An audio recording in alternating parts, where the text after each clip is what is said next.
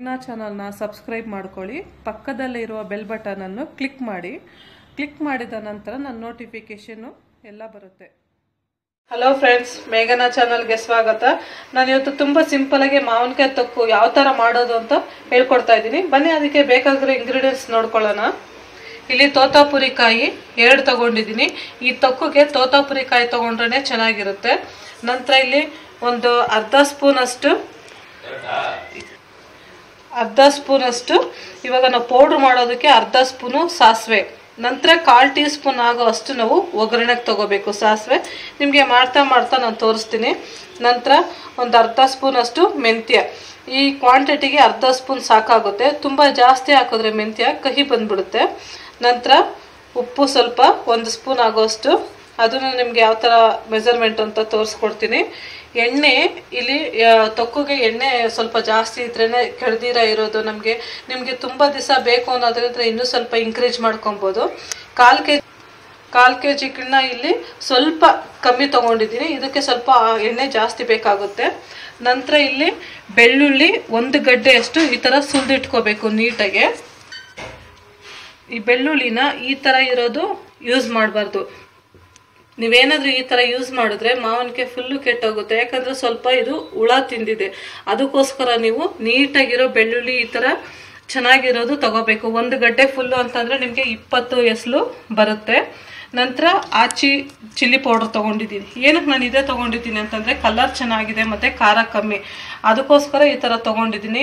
ಇಲ್ಲ ನೀವು ಮನೇಲೇ ಯೂಸ್ ಮಾಡ್ತೀನಿ ಅನ್ನೋದಾದರೆ ಅದು ಆ ಥರ ಕೂಡ ಯೂಸ್ ಮಾಡ್ಕೊಬೋದು. ನಂತರ ಒಂದು ಅರ್ಧ ಟೀ ಸ್ಪೂನಷ್ಟು ಅರಿಶಿನ ಪುಡಿ. ಸ್ವಲ್ಪ ಕರ್ಬೇವಿನ ಸೊಪ್ಪು ಅಂದರೆ ಎರಡು ಮೂರು ಕಟ್ಟಿ ಆಗೋಷ್ಟು ಕರ್ಬೇವಿನ ಸೊಪ್ಪು. ಇವಾಗ ಯಾವ ಥರ ಮಾಡೋದು ಅಂತ ನೋಡ್ಕೊಳ್ಳೋಣ ಬನ್ನಿ.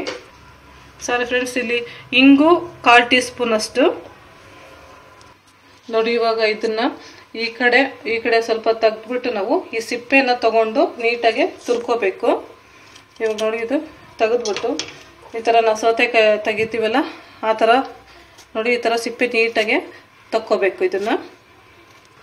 ನೋಡಿ ಫ್ರೆಂಡ್ಸ್ ಇವಾಗ ಸಿಪ್ಪೆ ಎಲ್ಲ ನೀಟಾಗಿ ತೆಗೆದಿಟ್ಕೊಂಡಿದ್ದೀನಿ. ಯಾವುದೇ ಕಾರಣಕ್ಕೂ ಈ ಮಾವಿನಕಾಯಿನ ನೀರಿನ ಅಂಶ ಇರಬಾರ್ದು ಇದಕ್ಕೆ. ನೀವು ಫಸ್ಟ್ ಇದನ್ನ ತಗೋಬೇಕಾದ್ರೆ ನೋಡಿ ತಗೋಬೇಕು. ಕಾಯಿರೋದನ್ನ ಮಾತ್ರ ತಗೋಬೇಕು. ಯಾವುದೇ ಇದನ್ನ ನಾವು ಕೊಬ್ಬರಿ ತುರಿಯೋ ಇದರಲ್ಲಿ ಈ ಥರ ಸ್ವಲ್ಪ ದಪ್ಪ ಇರಬೇಕು. ತುಂಬ ಚಿಕ್ಕದಿರಬಾರ್ದು ದಪ್ಪ ಇರೋದ್ರ ಇದರಲ್ಲಿ ನಾವು ಈ ಥರ ನೀಟಾಗಿ ಈಗ ಕೊಬ್ಬರಿ ನಾವು ಯಾವ ಥರ ತುರ್ಕೊತೀವಿ ಅದೇ ಥರನೇ ಇದನ್ನು ತುರ್ಕೋಬೇಕು. ನೋಡಿ ಫ್ರೆಂಡ್ಸ್ ಇವಾಗ ಸ್ಟವ್ ಹಚ್ಕೊಂಡು, ಬಾಣಲಿ ಇಟ್ಕೊಂಡಿದ್ದೀನಿ. ಇದು ಆದಷ್ಟು ನಾನ್ ಸ್ಟಿಕ್ಕೇ ಯೂಸ್ ಮಾಡಿ. ಈ ಸ್ಟೀಲ್ದಾಗಲಿ ಇಲ್ಲ ಅಲ್ಯೂಮಿನಿಯಂದ ಅಲ್ಯೂಮಿನಿಯಂ ನಾವು ಈ ಥರ ಬಾಣಲಿ ಇಟ್ಕೊಂಡ್ರೆ ಸಿದೋಗ್ಬಿಡುತ್ತೆ. ಅದಕ್ಕೋಸ್ಕರ ಆದಷ್ಟು ನಾನ್ ಸ್ಟಿಕ್ಕಲ್ಲೇ ಮಾಡ್ಕೊಳ್ಳಿ. ಇವಾಗ ನಾವು ಫ್ರೈ ಮಾಡ್ಕೊಳ್ಳೋದಕ್ಕೆ, ಅಂದರೆ ಮಾವಿನಕಾಯಿ ತುರಿದು ಇಟ್ಟಿರೋದನ್ನ ಫ್ರೈ ಮಾಡ್ಕೊಳ್ಳೋ ಫ್ರೈ ಮಾಡ್ಕೊಳ್ಳೋದಕ್ಕೆ ಎಣ್ಣೆ ಹಾಕ್ತಾ ಇದ್ದೀನಿ. ಇದು ಒಂದು ಕಪ್ ನಾನು ತೊಗೊಂಡಿರೋ ಎಣ್ಣೆಯಲ್ಲಿ ಒಂದು ಅರ್ಧ ಕಪ್ ಆಗೋಷ್ಟು ಹಾಕಿದ್ದೀನಿ. ಈಗ ಮಾವಿನಕಾಯಿ ತುರಿದಿರೋದನ್ನ ಇದರಲ್ಲಿ ಹಾಕ್ಕೊಂಡು ಚೆನ್ನಾಗಿ ಮೆತ್ತಗೆ ಫ್ರೈ ಮಾಡ್ಕೊಬೇಕು, ಎಣ್ಣೆಲೇ ಹುರ್ಕೋಬೇಕು. ಈ ತೇವಾಂಶ, ಈ ಮಾವಿನಕಾಯಲ್ಲಿ ಏನು ತೇವಾಂಶ ಇದೆ, ಅದು ಸ್ವಲ್ಪ ಕೂಡ ಇರಬಾರ್ದು. ಆ ಥರ ನಾವು ನೀಟಾಗಿ ಫ್ರೈ ಮಾಡ್ಕೋಬೇಕು ಎಣ್ಣೆಲೆ. ನೋಡಿ, ನೀವು ಎರಡು ಮೂರು ತಿಂಗಳು ನಿಮಗೆ ಇನ್ನೂ ಜಾಸ್ತಿ ಬೇಕು ಅನ್ನೋದಾದರೆ ನೀವು ಇವಾಗ ನಾನು ತೋರಿಸಿರೋ ಮೆಸರ್ಮೆಂಟಲ್ಲಿ ಇನ್ನೂ ಸ್ವಲ್ಪ ಇನ್ಕ್ರೀಸ್ ಮಾಡ್ಕೋಬೋದು. ಇದು ಇನ್ಕ್ರೀಸ್ ಮಾಡ್ಕೋಬೋದು. ಇದು ಸೈಡ್ ಡಿಸ್ಗೆ ತುಂಬಾ ಚೆನ್ನಾಗಿರುತ್ತೆ ನಂಚ್ಕೊಳ್ಳೋದಕ್ಕೆ. ಮತ್ತು ಇವಾಗ ಏನಾದ್ರು ಎಮರ್ಜೆನ್ಸಿ ನಮಗೆ ಮನೇಲಿ ಸಾರಿಲ್ಲ ಅಂತಂತಂದರೆ ಇದನ್ನು ನಾವು ಉಪ್ಪಿನಕಾಯಿ ಅನ್ನದ ಜೊತೆ ಕೂಡ ಸಹ ತಿನ್ಬೋದು. ತುಂಬಾ ಟೇಸ್ಟಿಯಾಗಿ ಚೆನ್ನಾಗಿರುತ್ತೆ ಹುಳಿ ಇವಾಗ ಈ ಥರ ಸ್ವಲ್ಪ ಮೆತ್ತಿಗೆ ಫ್ರೈ ಮಾಡ್ಕೋಬೇಕು. ನೋಡಿ ಫ್ರೆಂಡ್ಸ್ ಇವಾಗ ನೀವು ಈ ಥರ ಫ್ರೈ ಮಾಡ್ತಾ ಇರಬೇಕಾದ್ರೆ, ಎಣ್ಣೆಲಿ ಈ ಥರ ಫ್ರೈ ಮಾಡಬೇಕಾದ್ರೆ ನಿಮಗೆ ಗೊತ್ತಾಗುತ್ತೆ. ನೋಡಿ ಆಯಿಲೆಲ್ಲೂ ನಿಮಗೆ ಕಾಣಿಸ್ತಾ ಇಲ್ಲ. ಅಂತಂದರೆ ಎಣ್ಣೆ ಕಮ್ಮಿ ಆಗಿದೆ ಅಂತ. ಅವಾಗ ಬೇಕು ಅಂತಂದರೆ ನೀವು ಇನ್ನೂ ಒಂದು ಎರಡು ಸ್ಪೂನ್ ಆಗೋಷ್ಟು ಎಣ್ಣೆನ ಹಾಕ್ಕೊಂಡು ಇದನ್ನು ನೀಟಾಗೆ, ಇದರಲ್ಲೇ ನಮ್ಗೆ ಆಲ್ಮೋಸ್ಟು ಇದರಲ್ಲೇ ನೀಟಾಗೆ ಬೇಯಿಸ್ಕೋಬೇಕು ನಾವು. ನೋಡಿ ಫ್ರೆಂಡ್ಸ್ ಇವಾಗ ಇದಾಗಿದೆ. ನೀವು ಆದಷ್ಟು ಸಿಮ್ಮಲ್ಲೇ ಇಟ್ಕೊಂಡು ಅವಾಗವಾಗ ಅವಾಗ ಕೈ ಆಡಿಸ್ತಾನೆ ಇರಬೇಕು. ಸೀಸಕ್ಕೆ ಮಾತ್ರ ಬಿಡಬೇಡಿ.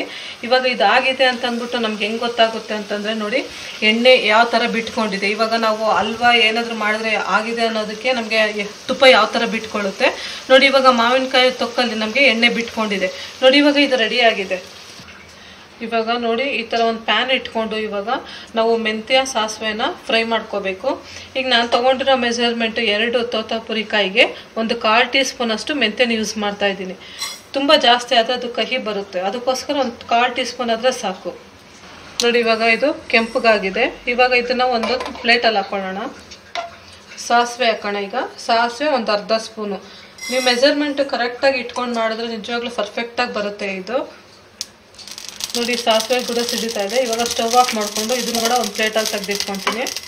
ಇವಾಗ ಇದನ್ನು ನೀವು ಕುಟಾಣಿಯಲ್ಲಾದರೂ ಪೌಡ್ರ್ ಮಾಡ್ಕೊಬೋದು. ಮಿಕ್ಸಿಯಲ್ಲಿ ಹಾಕೋಕ್ಕೋದ್ರೆ ಇದು ತುಂಬ ಕಮ್ಮಿ ಕ್ವಾಂಟಿಟಿ ಇರೋದ್ರಿಂದ ನೀವು ಆದಷ್ಟು ಕುಟಾಣಿ, ಇಲ್ಲಾಂತಂದರೆ ನೀವು ಏನಾದರೂ ಚಿಕ್ಕದು ಒಳ್ಕಳಿ ಇರುತ್ತಲ್ಲ, ಅದರಲ್ಲಾದರೂ ಕುಟ್ಕೊಬೋದು. ಇವಾಗ ಇದನ್ನು ನಾನು ಕುಟಾಣಿಯಲ್ಲಿ ಕುಟ್ ಕುಟ್ಕೊಂಡು ಪೌಡ್ರ್ ಮಾಡಿ ರೆಡಿ ಮಾಡಿ ಇಟ್ಕೊತೀನಿ. ನೋಡಿ, ಇವಾಗ ಪೌಡ್ರು ರೆಡಿಯಾಗಿದೆ ಈಗಿದ್ದು ಫ್ರೈ ಮಾಡ್ಕೊಂಡಿರೋ ಮಾವಿನಕಾಯಿನ ಒಂದು ಬೌಲ್ಗೆ ಹಾಕ್ಕೊಳ್ಳೋಣ ಬೌಲ್ಗೆ ಹಾಕ್ಕೊಂಡು ಆನಂತರ ಒಗ್ಗರಣೆಗೆ ಹಾಕ್ಕೋಬೇಕು ನೋಡಿ, ಇವಾಗ ಇದೇ ಬಾಣಲಿಗೆ ಉಳಿದಿರೋ ಎಣ್ಣೆನೂ ಹಾಕ್ಕೋಬೇಕು ಇವಾಗ ಇದಕ್ಕೆ ಒಂದು ಕಾಲು ಟೀ ಸ್ಪೂನಷ್ಟು ಸಾಸಿವೆ. ಈಗ ಇಂಗು ಹಾಕ್ಕೊಳ್ಳೋಣ ಒಂದು ಕಾಲು ಟೀ ಸ್ಪೂನಷ್ಟು ಇಂಗು, ನಂತರ ಕರ್ಬೇವು. ನಂತರ ಇವಾಗ ಬೆಳ್ಳುಳ್ಳಿ. ಬೆಳ್ಳುಳ್ಳಿನ ಮಾತ್ರ ತುಂಬ ಫ್ರೈ ಮಾಡೋಕ್ಕೆ ಹೋಗ್ಬಾರ್ದು. ಟೇಸ್ಟು ಸ್ವಲ್ಪ ಚೇಂಜ್ ಆಗೋಗ್ಬಿಡುತ್ತೆ. ಬೆಳ್ಳುಳ್ಳಿನ ಫ್ರೈ ಮಾಡೋಕ್ಕೆ ಹೋದರೆ. ಸುಮ್ಮನೆ ಸುಮ್ಮನೆ ಈ ಥರ ಜಸ್ಟ್ ಈ ಥರ ಹಾಕಬೇಕು. ಹಾಕ್ಕೊಂಡು ಸ್ವಲ್ಪ ಈ ಥರ ಒಂದು ನಿಮಿಷ ಫ್ರೈ ಆದರೆ ಸಾಕು. ಈಗ ಈ ಮಾವಿನಕಾಯಿನ ಫ್ರೈ ಮಾಡ್ಕೊಂಡಿದ್ದೀವಲ್ಲ, ಅದನ್ನು ಇದರಲ್ಲೇ ಹಾಕ್ಕೋಬೇಕು. ಇದರಲ್ಲಿ ಮಾಡ್ಕೊಬೇಕು. ಈಗ ಇದಕ್ಕೆ ಉಪ್ಪು, ಖಾರ ಹಾಕೋಣ. ಈಗ ಒಂದು ಅರ್ಧ ಸ್ಪೂನಷ್ಟು ಉಪ್ಪು ಹಾಕ್ತಾ ಇದ್ದೀನಿ ನಾನು. ಈಗ ಅಚ್ಕಾರದ ಪುಡಿ ಒಂದು ಸ್ಪೂನು ಇವಾಗ ಒಂದು ಕಾಲು ಟೀ ಸ್ಪೂನಷ್ಟು ಅರಶಿನ ಇವೆಲ್ಲ ಹಾಕ್ಕೊಂಡು ಸ್ವಲ್ಪ ಮಿಕ್ಸ್ ಮಾಡ್ಕೊಳ್ಳೋಣ. ನೋಡಿ ಇವಾಗ ಇದೆಲ್ಲ ಮಸಾಲೆ ಪದಾರ್ಥನ ಹಾಕ್ಬಿಟ್ಟು ನೀವು ಜಸ್ಟ್ ಒಂದು ಎರಡು ಮೂರು ನಿಮಿಷ ಈ ಥರ ಎಣ್ಣೆಲೆ ಫ್ರೈ ಮಾಡ್ಕೊಬೇಕು. ಯಾಕಂದ್ರೆ ಆಲ್ರೆಡಿ ನಾವು ಎಣ್ಣೆಲೆ ಬೇಯಿಸಿ ಇಟ್ಕೊಂಡಿದ್ದೀವಿ ಇದನ್ನು. ನೋಡಿ ಬೆಳ್ಳುಳ್ಳಿ ಈ ಥರ ಇರಬೇಕು. ತುಂಬ ಜಾಸ್ತಿ ಫ್ರೈ ಮಾಡೋಕೆ ಹೋಗ್ಬಾರ್ದು. ನೀವು ಕೇಳ್ಬೋದು, ಮೇಡಮ್, ಏನು ಮೇಡಮ್ ಇಷ್ಟು ಎಣ್ಣೆ ಇದೆ ಅಂತ? ಆ್ಯಕ್ಚುಲಿ ಪಿಕ್ಕಲ್ಗೆ ಈ ಥರ ಎಣ್ಣೆ ಇದ್ರೇ ಇಲ್ಲಾಂದ್ರೆ ಅದು ಏನಾಗುತ್ತೆ ಅಂದರೆ ಎರಡು ದಿವಸಕ್ಕೆ ಡ್ರೈ ಆಗಿಬಿಟ್ಟು ಹಾಳಾಗೋಕೆ ಚಾನ್ಸ್ ಇರುತ್ತೆ. ಸ್ವಲ್ಪ ಎಣ್ಣೆ ಈ ಥರ ಇರಬೇಕು. ಒಂದು ಎರಡು ಸ್ವಲ್ಪ ಸೆಟ್ ಆಗೋವರೆಗೂ ಆಮೇಲೆ ಎಣ್ಣೆ ಅಷ್ಟೊಂದು ಎಣ್ಣೆ ಎಲ್ಲ ಹೀರ್ಕೊಬಿಡುತ್ತೆ. ನೋಡಿ, ಇವಾಗ ಲಾಸ್ಟಲ್ಲಿ ಪೌಡ್ರನ್ನ ಆ್ಯಡ್ ಮಾಡ್ತಾ ಇದ್ದೀನಿ. ಲಾಸ್ಟಲ್ಲಿ ಹಾಕಿದ್ರೆ ತುಂಬ ಫ್ಲೇವರ್ ಚೆನ್ನಾಗಿರುತ್ತೆ. ನೋಡಿ ಫ್ರೆಂಡ್ಸ್ ಇವಾಗ ಮಾವಿನಕಾಯಿ ತೊಕ್ಕು ರೆಡಿಯಾಗಿದೆ ಈಗ ನೀವು ಇದೇನಾದರೂ ತುಂಬ ದಿವಸ ಇಡಬೇಕು ಅಂತಂದರೆ ಈ ಜಾರ್ ಅಂತ ಬರುತ್ತೆ. ಅಂದರೆ ಉಪ್ಪಿನಕಾಯಿ ಹಾಕೋದು. ಅದರಲ್ಲಾದರೂ ಇಡ್ಬೋದು, ಇಲ್ಲಾಂದರೆ ಗಾಜಿನ ಬಾಟ್ಲಲ್ಲಾದರೂ ಇಟ್ಕೊಂಡು ನೀವು ಸ್ಟೋರ್ ಮಾಡ್ಕೊಬೋದು. ನೋಡಿದ್ರಲ್ಲ ಫ್ರೆಂಡ್ಸ್ ಎಷ್ಟು ಈಸಿಯಾಗಿ ಮನೇಲೇ ನಾವು ಮಾವಿನಕಾಯಿ ತೊಕ್ಕನ ಯಾವ ಥರ ಮಾಡ್ಕೋಬೋದು ಅಂತಂದ್ಬಿಟ್ಟು ನಮಗೆ ಮಾವಿನಕಾಯಿ ಪಿಕ್ಕಲ್ಲಾಗಲಿ ಈ ಥರ ತೊಕ್ಕಾಗಲಿ ಮಾಡೋಕ್ಕೆ ಬರಲ್ಲ ನೋಡ್ಕೂರ ಈಸಿಯಾಗಿ ಮಾಡ್ಕೋಬೋದು. ಇಷ್ಟೇ ಇವತ್ತು ನನ್ನ ರೆಸಿಪಿ ನಾನು ಮಾಡಿರೋ ರೆಸಿಪಿ ನಿಮ್ಗೆ ಇಷ್ಟ ಆಗಿದ್ರೆ ಲೈಕ್ ಮಾಡಿ ಶೇರ್ ಮಾಡಿ. ನೀವು ಕೂಡ ಇದನ್ನು ಮನೇಲಿ ಟ್ರೈ ಮಾಡಿ ಖಂಡಿತವಾಗ್ಲೂ. ಹೆಂಗೆ ಬಂತು ಅಂತ ನನಗೆ ಕಮೆಂಟ್ ಮೂಲಕ ತಿಳಿಸಿ. Okay friends thank you